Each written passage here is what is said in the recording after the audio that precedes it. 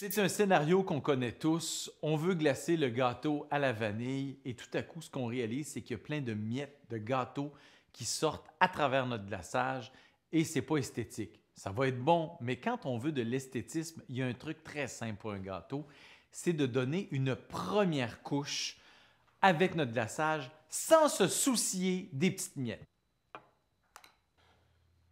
Alors, cette fine couche de glaçage-là, c'est vraiment pas pour de l'esthétisme, c'est pour sceller le gâteau, mais surtout sceller les miettes du gâteau. Une fois glacé, vous allez le laisser ou sécher température de la pièce, ou dans ce cas-ci, c'est une crème au beurre, au frigo pour une trentaine de minutes. Après une trentaine de minutes, il reste juste à donner notre couche finale et là, on va avoir un beau gâteau, pas de miettes.